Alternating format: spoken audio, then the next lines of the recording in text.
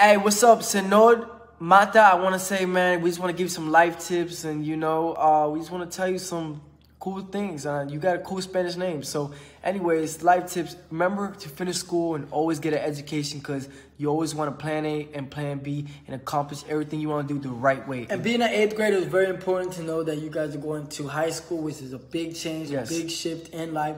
I want you guys to stay motivated, Stay keep doing what you gotta do, graduate, go to the top, go to the sun. You already know what it is. I want you guys to realize who you are, vision who you are, and manifest it. And I- so and we want you to prepare for high school because high school is a big thing. This is where they're gonna let you guys off so you guys could be uh, working society people Mm. and maybe go to college. So make some friends, have fun, and yeah, make a little bit of education. and a big shout out to Senor Mata. You keep doing your thing and keep being an awesome teacher. And we want to sing a song.